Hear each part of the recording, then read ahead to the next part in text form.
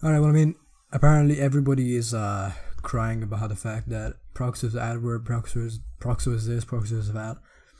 So, uh, you know, since everybody's crying about the key system, I thought I'd, uh, I'd go through it myself in a raw video, you know? Let's just see what the fuss is about, you know, see what what's so bad about Proxo that, uh, you know, warrants it to be targeted so much, you know, right? So we, we open up the bootstrapper, downloading it. So yeah, no, this, this is the main point here. Here, okay. You press yes. The installer opens up. I'll go that next. Decline. You can choose to accept or decline that, and you'll be into Proxo. It's, it's that simple. That's the adware everybody's been crying about for the most part. But uh, I digress. Let's press uh, retrieve key. Let us uh, discover web articles. Let's wait 10 seconds. Now keep in mind, you know, uh, you won't find the functions on Proxo for free on any other free exploit like this. So having a key system, just like every other free exploit, is perfectly reasonable. Um, while it might take about five minutes to go through, that's not a long amount of time at all compared to what you could be spending exploiting, considering it's a free exploit. So there's not much like room to complain about how bad this is. So there you go, boom, boosting, simple as that which FYI, 3DS made a point that apparently we get paid for using boosting, which we don't at all. And plus, I I don't see why any kid would click on this. Like, you must be like a dumb dumb kid cl- click on any of these adverts. Like, if you want to use Proxo, you just click for the key system. It clearly states Proxo key. So if you if you click on any sort of advert that doesn't have anything to do with Proxo, you are too dumb to use the internet. I'm sorry. Very clear, you are not intelligent enough. So just get off the internet if you're that dumb. So anyway, let's just continue. Yeah, next link. This is the last one. Another article. Right after this, we'll be right at the key page and ready to use Proxo. And we had a very very short, like few minute talk. Like well, we started probably like 904 or 903. Like it hasn't been very long at all. Now this this is the longest thing you have to wait through, which is a minute long. Skip this ad. Boom, skip that. Now let's just sit through this. It takes literally like a minute.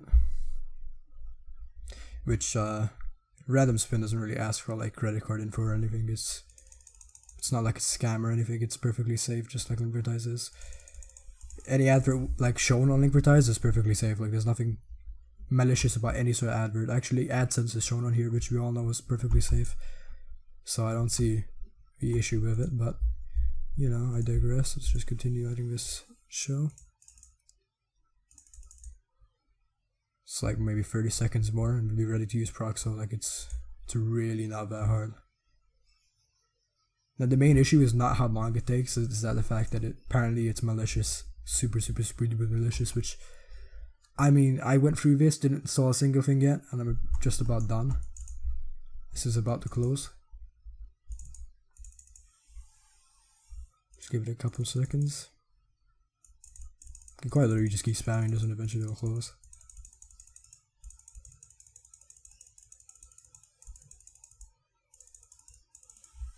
It's been about a minute, 10 seconds, not very long at all. And boom, continue. Wait 15 seconds now. And right after these 15 seconds are up, you'll be free to use Proxo because you can generate your key and you'll be good to go. And I any allegations about how Proxo fucking crashes, and apparently it crashing makes the UI crash. Like that's that's completely untrue. Of course it doesn't. So anyway, we get like some basic ads that we can just close. Simple. Copy your key, submit key, boom. That was a couple minutes. That's it. You can use Proxo for four fucking weeks for all I care. Like you can use it for as long as you like go on Strucid, you can go use the Strucid functions, the jailbreak functions, whatever. These are all being improved day by day and updated constantly. So uh, uh even the Strucid, like if you click on chams, you see that's disable, so nobody's getting banned anymore. It's not even a big deal because uh, ESP and tracers are still present, which are both undetected currently. So yeah, let's just wait for this to initialize. Speed, aimbot, chams. Uh, chams, we can't use that. Let's just use ESP. Sound him. Boom. no crash, nothing, working perfectly good. I don't see the issue about like it being unstable or whatever. Boom, killed one guy. This is my first try, by the way. Like I, I, I haven't pre-recorded this video. I haven't recorded it before. This is the first time using it. I like clearly it's a good piece of software. Like it, it runs just fine. Like it has good functions that you don't see on any other exploit.